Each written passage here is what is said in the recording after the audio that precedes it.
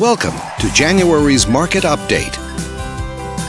Let's take a look at residential real estate activity in your area during the month of December. The number of active listings was down 54% from one year earlier and down 37% from the previous month.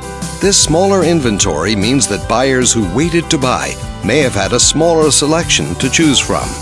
As you can see, the median listing price for the month was just over $200,000. Compared to last year, the average number of days that units spent on the market before being sold was down 9%. This lower number of days may signal a positive trend in the local inventory turnover rate.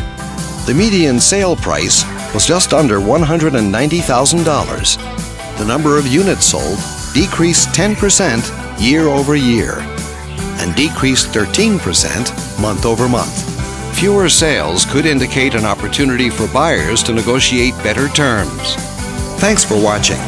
We hope you use this information to make smart, informed decisions in your upcoming real estate transactions. Feel free to contact us for more information or further assistance.